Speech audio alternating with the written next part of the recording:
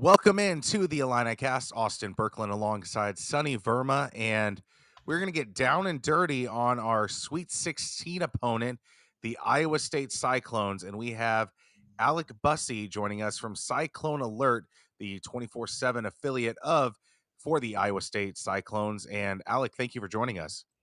Yeah, thanks guys for having me on. Uh, certainly a lot going on right now in everyone's world in the college basketball space, but uh, yeah, certainly happy to join you. I Before we get going, I mean, how is it being a being in the Illini circle and then uh, writing for Iowa State and having this as the matchup? It's got to be pretty cool seeing both sides of your your previous life and your current life uh, going back and forth. Yeah, it's certainly going to be interesting. Uh, graduated from Illinois in 2022, um, so certainly familiar with a lot of the people in Illinois' program. Trying to keep up with them as much as possible, watch them um, I've gone to a couple games this year. Uh, went to the Bragging Rights game, went to the FDU game in Champaign right before the new year. So it's interesting to be able to cover two teams that you kind of feel like you're more or less an expert on. Um, really makes it easy for me to do all of like the scouting report stuff. Um, and you know, on our message boards, people have already been asking me questions about Illinois personnel and different things like that. So it's really easy for me to not have to look anything up and just kind of have it all off of the top of my head. So it'll be a lot of fun um, being out in Boston this week and being able to, to get back in some Brad Underwood press conferences, listen to some of the Illini players that um, were there when I was there. So it'll be a lot of fun. Not sure where Austin went, but uh, when that bracket came out, were you immediately? Did you just kind of like circle it and be like, "Oh, this could uh, potentially happen"? Uh, I think my initial reaction was, "Oh, that's cool. They're both going to Omaha together, and I'll be able to watch Illinois play in Omaha as well as Iowa State." And then I think it hit me was like, "Oh, that means they can play in the Sweet 16. That might not be something I want to have happen. To be honest, I was telling a lot of people in Omaha this past week, I was like, I don't really want them to play. Yeah. Um, just because it's kind of weird, it's kind of awkward and uncomfortable.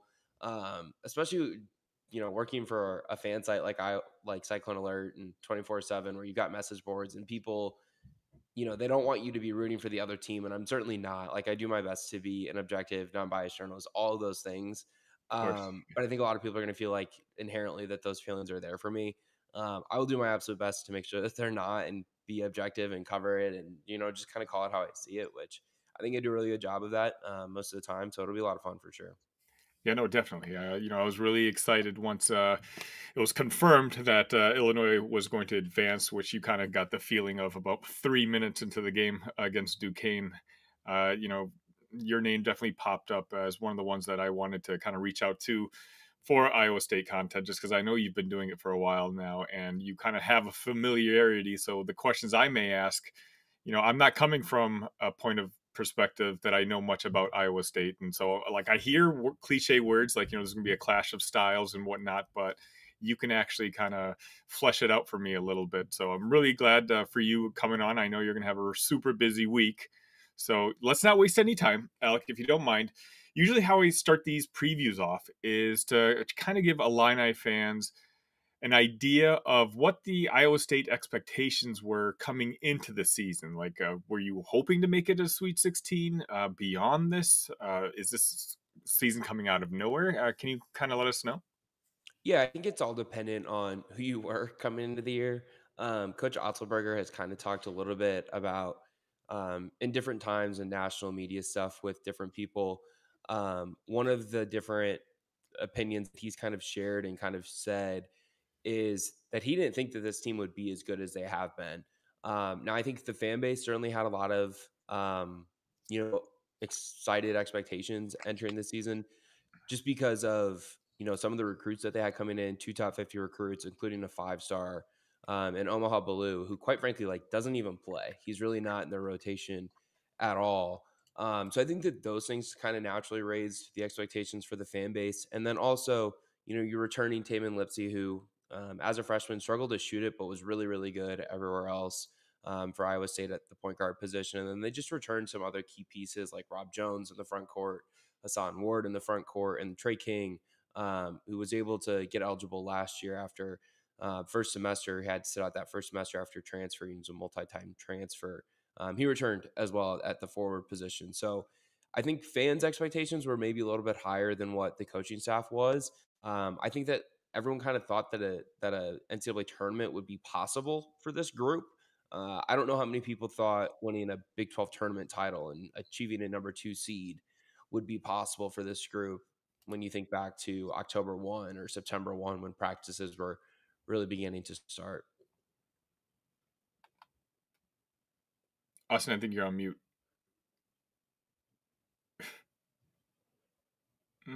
can't hear you. I think you still are. Yeah.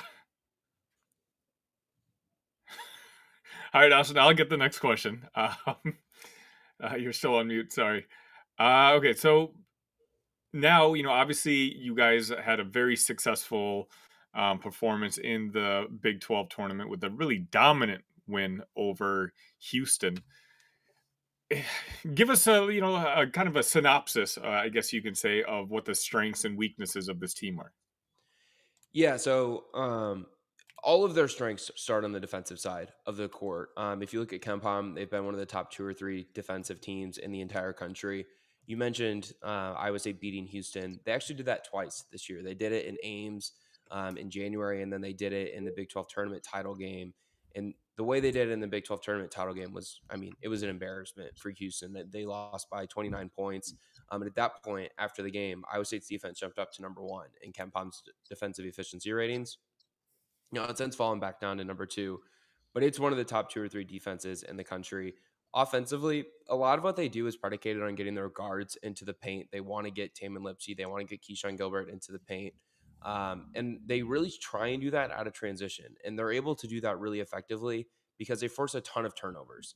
Um, Illini fans will probably remember the defense that Illinois played when Brad Underwood first got to Champaign, where there was a lot of ball pressure. They were trying to force a lot of turnovers and, and get deflections and passing lanes that's a lot of what Iowa State does um, in terms of trying to force turnovers. They're second in the country in turnover rate.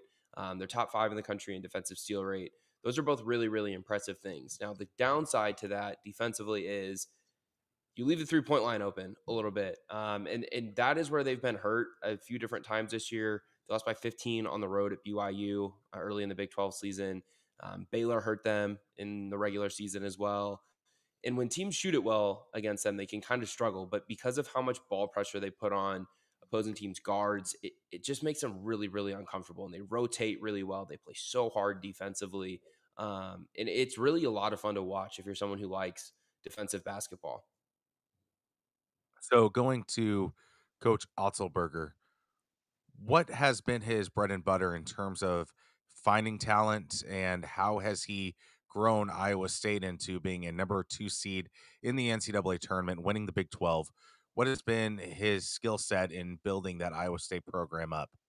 Yeah, so he's got a really interesting kind of career path. If you kind of look at it, he was an assistant coach three different times at Iowa State, all the way back under Greg McDermott, who's obviously now the head coach at Creighton, was an assistant under Fred Hoiberg at um, here at Iowa State, and Hoiberg's obviously now at Nebraska. And then he was also an assistant under Steve Prohm, um, who also won a Big 12 tournament title. And then kind of that flamed out horribly at the end of Steve Prohm's tenure. And now he's back at Murray State. But during his three different stints on Iowa State's assistant staff, I think he got a really good understanding of how to be successful at Iowa State and what it takes to be successful at Iowa State, while also becoming really aware of the challenges um, that the Cyclones face, just kind of as like an overall athletic department.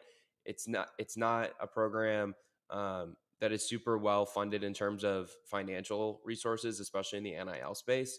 Uh, but they have done a really good job of just building an identity of toughness and accountability and and all those different things. And they often talk about daily habits. Um, Illinois fans always hear Brad Underwood talk about like everyday guys.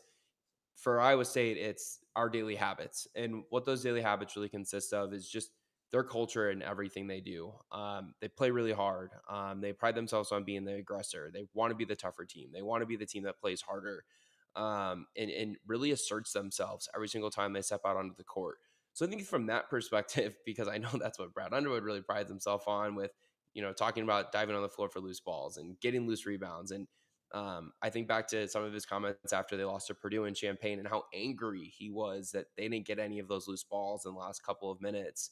Um, that's a lot of how TJ Otzelberger would handle that stuff as well.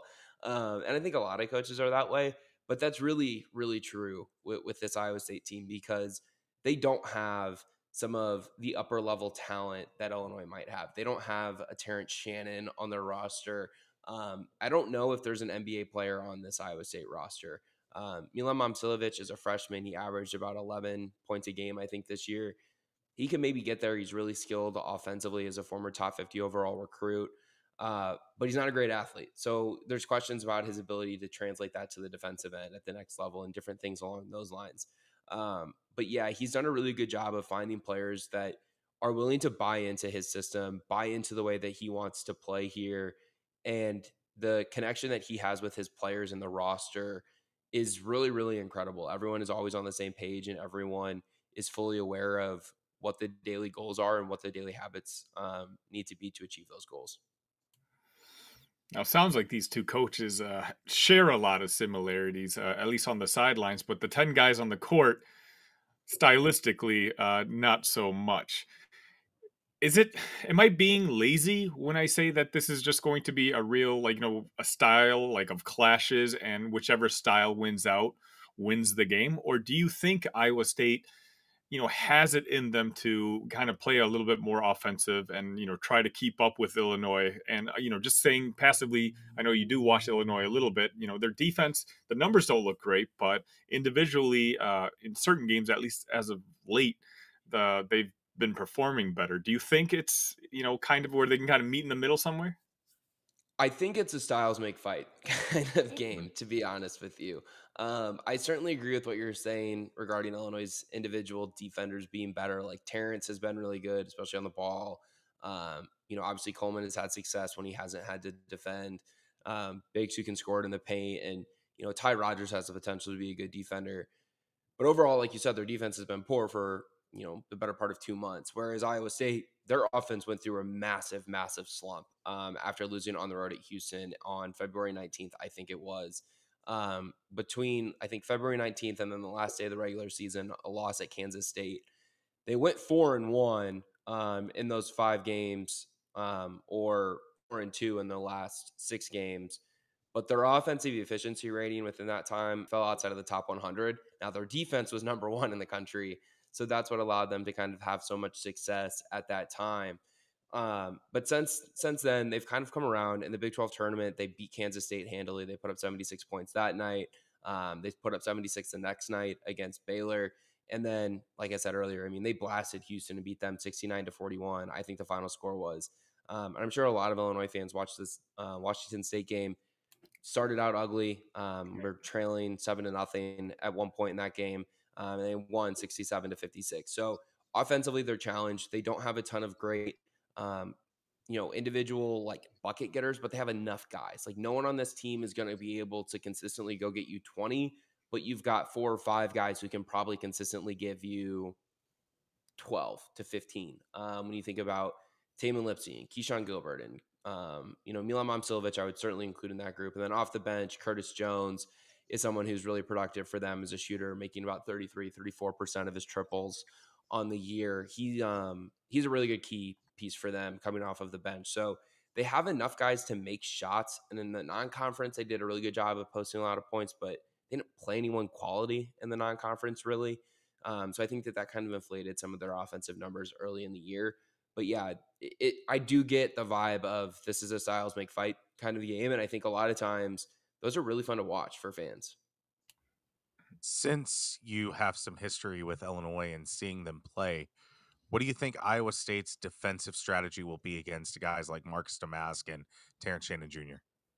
Yeah, it's a really good question. So uh, I think what makes Iowa State's defense so impressive to me is that they don't change what they do like ever.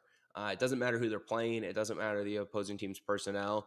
They're going to blitz every single ball screen. They're going to trap ball screens. They're going to try and push the ball um, closer to half court. Now, Illinois doesn't run a ton of ball screen actions, um, especially compared to like the 2021 team, the 2022 team, those two teams that had um, Kofi Cockburn. And it's a lot more ISO ball now than it was before. Sorry, my mom's calling me. Um, but yeah, it's it's a lot more ISO ball than it was in the past. So I think it'll be really interesting to see how Iowa State kind of goes about handling those different things because a lot of times teams run ball screens and that kind of like plays into what Iowa State wants to do because then they can blitz it and they can trap it and they can do different things like that and that leads to them being able to force turnovers.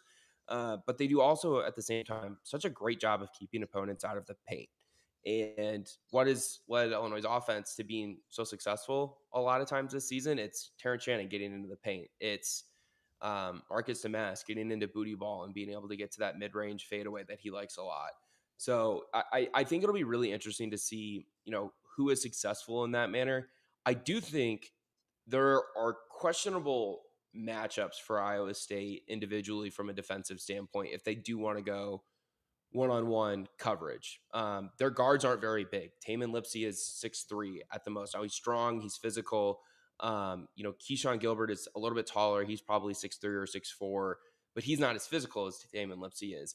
So if one of those two guys gets stuck guarding Terrence Shannon, um, they could they could struggle. Um, same with Marcus Domask, just because of the size that those guys have um, and the advantage that those guys have. But again, they do such a good job of clogging driving lanes and keeping team out of the paint. So I almost question like how does Illinois get to the things that they've done so well this year?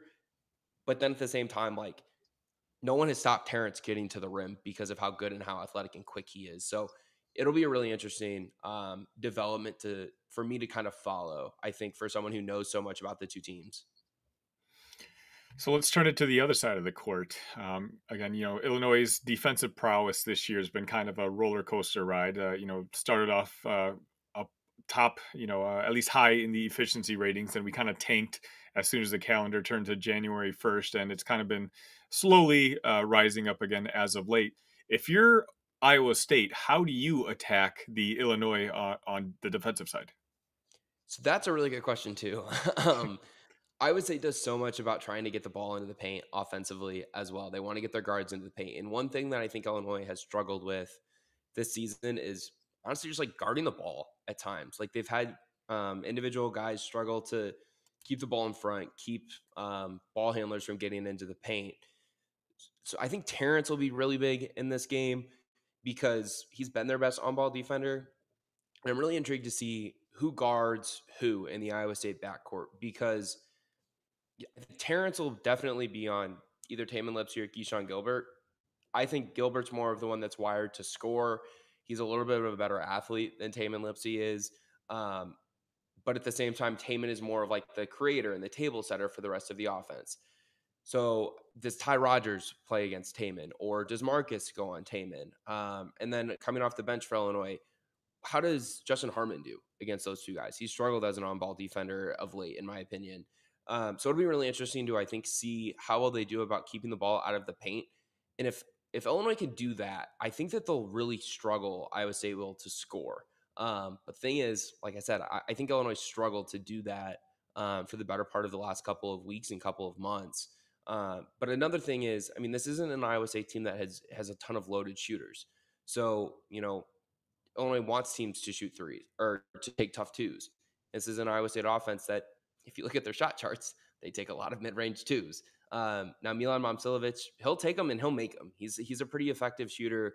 Um, don't know how much you guys have watched of him.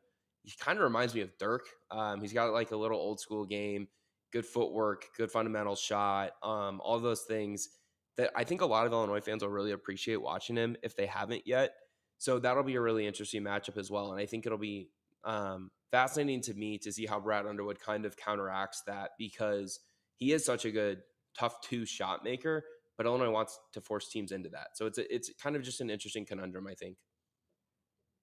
Who do you think is the dark horse player on this Iowa State team that can cause havoc for Illinois? Say your top two guys, uh, Keshon Gilbert and Tamin Lipsey, are having some struggles. Who's the guy that Illinois fans are going to be like, this guy is beating us offensively? Um, how is this possible? So who would who would you be? Who'd be the guy that would be the dark horse uh, that would keep Iowa State in the game if those two top guys are struggling? Yeah, I think certainly Momcilovic would factor into that group um, just because he's been um, so important for them. He was an All Big 12 freshman team member this year. He went through a really long shooting slump that was about a month long, but he's really responded here um, since the Big 12 tournament semifinals. So that's certainly a name to keep an eye on. Curtis Jones, like I said earlier, making about 33, 34% of his threes. That's one um, as well. Tre King, he's a forward. He's six seven. He's really strong, really physical. Um, he's had games this year where he's lit it up from three. He was really successful against Kansas um, from beyond the arc. I think he had four threes that day. Um, he was really good on the road at Houston and Iowa State's loss to the Cougars from beyond the arc. And then he was also good at UCF um, in a late season, regular season game there. So those are a couple names. I don't think that Iowa State um, goes to Hason Ward enough. He's a six foot 10, six foot 11, really athletic, big. I think they should put him in a lot more ball screens with either Gilbert or Lipsey personally. Um, but they don't post him or Robert Jones up very much. So I don't think that that's like a terribly difficult matchup for Coleman Hawkins because neither one of those guys is averaging um, more than seven or eight points a game this year. Alex, thank you so much again for your time. Uh, we'll kind of wrap it up with a couple more questions, real quick. Uh, by the way, if you're watching this, please, we're so close to 500 subscribers. Do us a favor, hit that like button, uh, hit that subscribe button. It really helps uh, channels like ours out. Alex, I'm just curious, like with Illinois, you know, fans, like we had this big stigma about not being able to make it into the second season. And now that with that victory, the resounding victory over Duquesne, a lot of fans on our end at least kind of feel like the rest of the tournament is kind of like a free roll. What's the mindset of the Cyclones fan base? Like, is this also kind of a, you know, officially a successful season? Or are the expectations, hey, let's let's keep going, let's win another game here, and you know, take on potentially UConn on Saturday? Eh, or, or like are people gonna be disappointed or what do you think? I think there'll be natural disappointment if they lose, but I also think that there's a quality understanding of that this was a great season no matter what happens on Thursday night. To be mm-hmm. honest, um, if if Iowa State wins, they're going to advance to the Elite Eight. Um, I would have to go back and look at the last time that Iowa State qualified for the Elite Eight. Um, they were in the Sweet 16 just two years ago during Otzelberger's first season, but that was a little bit more of a fluke. Um, I think they were an 11 seed. They went seven and 11 in the Big 12 that year. This year's team, you know, they finished second in the Big 12. Um, in my opinion, they were the second best team in the Big 12. So th- it's a team that I think the fan base has fallen in love with, and they'll be really sad to see the run end, um, whether that's with confetti falling on Monday night or um, on Thursday night to Illinois. So I think that that's kind of how I would view it. I think that they also, you know, view this season, no matter how it ends, as an ultimate success because, you know, they didn't make it to a Sweet 16. They did win a Big 12 tournament title, and those are really important things for Iowa State. And I don't know about you guys, but I'm of the opinion that like if you're not a Duke, a, a, Kansas, or a Kentucky or North Carolina, you know, getting to a Sweet 16, like if, assuming it's not like a magical run to a Sweet 16, NC State has kind of had, right? Like that was kind of out of nowhere. That like you probably had a really good year. Like I, I think if Illinois does lose on Thursday at Iowa State, like their fans should remember the season really positively. They finished second in the Big Ten. They won a Big Ten tournament title. They made it to a Sweet 16. They were a three seed. Like that's a really good year for for a lot of programs. Um, so yeah, I think it's I think that's kind of how how Iowa State fans do it. It's probably fairly similar um, to Illinois fans. Alec, final question for you. I, I don't want to step on any prediction columns that you have, but where are you leaning in terms of this matchup between Iowa State and Illinois? It's a really good question. Um, I think that these are two really evenly matched teams. Um, if you look at the metrics, they're very, very close to each other. They've been really close to each other for a really long time. Um, I do think Iowa State's the better team. I've kind of felt that way for a while. Um, and a lot of that is just because their defense is insane. like I've never seen a team this consistently guard the way they do in person. Now, maybe I would say the same thing about Illinois if I watched them in person every single night, like I did last night when they beat Duquesne. Um, that like seeing them up close and like in on with a courtside media press row seat, I was like, damn, this offense is a lot better than it looks on TV. Like Terrence Shannon is impossible to stop. Like he's a lot faster in person than he is on television. I, I, think Iowa State wins um, if the game is in the 60s or the 70s. Um, but if the game gets above, you know, 78, 80 points, I think that Iowa State could struggle to win. So I think that that's how I would view it. Uh, like I said, I think I give Iowa State a slight advantage just because I think their defense is insane. But um, there's certain reasons for Illinois fans to be really, um, you know, excited about certain matchup advantages that I think that their offense is going to find. It's just about whether or not they're able to execute against the ball pressure and the havoc that Iowa State's defense really creates. Regardless, it should be a fun game. Did they release a time yet for the game on Thursday? I haven't seen one yet. I think it comes They have not. I think they're releasing all those times whenever all the matchups are set. Got it. Okay, sounds good. But uh, Alex, thank or Alex, sorry, thank you so much again for joining us today. I know today's going to be not just today. This week is going to be super busy for you, so I'm glad we got to squeeze this in before the rush really started. Uh, if you don't mind, just uh, tell our Illini cast and crew uh, where they can find you online. Yeah, check me out on Twitter um, or X if that's what you're calling it. Don't know what you guys prefer to go by.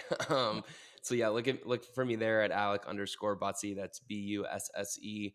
Um, if you want to read any of my work, um, there'll be free stories as well as VIP stories um, going up at Cyclone Alert. That's Iowa State's 24 7 website. Um, so, yeah, me, make sure to check me out there. And then I know I'm going to be going on a few other Illinois shows and pods this week. So, if you follow me on Twitter, you'll probably be able to see some of the links to those to hear me preview Iowa State and maybe hear me uh, spew a little bit more of some opinionated things about the matchup this week. Alec, thank you for your time and have a great week and have a great trip to Boston covering this unbelievable uh, Eastern region. Thanks, Austin. Appreciate it. Before I go, go cards. Oh, no, no, no, no, no. You got to No, edit no. that one out. Had to get it in there I before I, mean, left. have fun finishing last in the NL Central this year, Alec. Hey, I'm not positive. I'm not feeling good about the pitching. I've already decided if they're if they're bad this year, that I'm just gonna spend a lot of time on the golf course. So that's how you know, I just noticed coming that opening day is also the day of uh, on Thursday, so that's going to be fun. It's going to be a full of sports uh, on my end, at least. Yeah, it'll be a good time. It'll be a good time. I probably won't be watching much baseball. I'll be locked in on the, on the college basketball. I think like most Americans, right? Absolutely. Thank you again, Alec. Alec, thank you again and uh, enjoy the t- trip to Boston. Thanks, guys. Have a great rest of the week. That was Alec Busse of Iowa of Cyclone Alert, the Iowa State 24 7 um, website. Uh, Sonny, we have a big matchup Thursday. Um, shall we do the prediction right now or should we hold off on that? Let's hold off. Let me watch a little bit more Iowa State tape, a little bit, uh, try to figure out a little bit more about the team. It's still a little early. We still have a couple days. Yeah, we'll have a pot. We'll have another podcast by the time this matchup happens. So, Sonny, um, we'll get to watching some Iowa State tape, and we'll figure we'll figure out our feelings. Uh, but as of now, ILL, I and we are in the Sweet 16. Can't believe it. This has been an episode of the Illini Cast, part of the Big Banter Podcast Network.